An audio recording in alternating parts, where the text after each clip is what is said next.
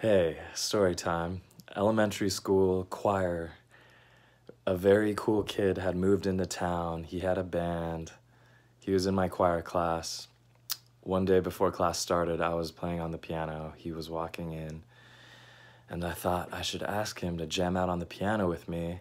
He'll invite me to be a part of his band. We'll make beautiful music forever and ever. I didn't ask, I was too scared to and it haunted me for years and years. For the next two decades, I did a lot of different things. I was trying to be this tough guy, but I was very afraid to get into fights and realized that drinking alcohol would make me not afraid of getting into fights. And I drank a lot and would get beat up. I would have sex, sometimes great, sometimes horrible. I would steal cars and I sucked at it. I started DJing and was really good at it.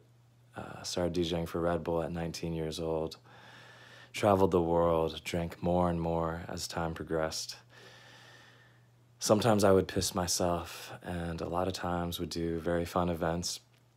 In 2011, my brother moved to LA, dragged me to church. I didn't want to go, but I had always been best friends with him.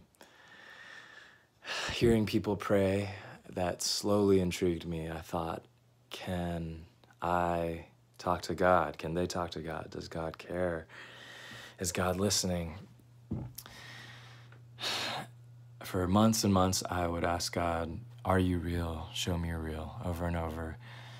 And eventually, a very slow peace uh, came over me that's, that's still coming over me. There's a book called Revelation, and in it, God says, Look, behold, I stand at the door and knock. If anyone hears me and lets me in, uh, okay, I'm going to read this. uh, if you hear my voice and open the door, I will come in and we will share a meal together as friends. God has been beyond a cool friend to me, the coolest friend I'm still scared to ask people to to jam out with me, but I'm getting comfortable asking God to jam with me. I always want to make a video, a mix, a song that's that's timeless, that can be listened to over and over. And I think that's just a tiny, tiny taste of how much God loves, uh, how much God wants to romance me and you and the world forever and ever. Uh,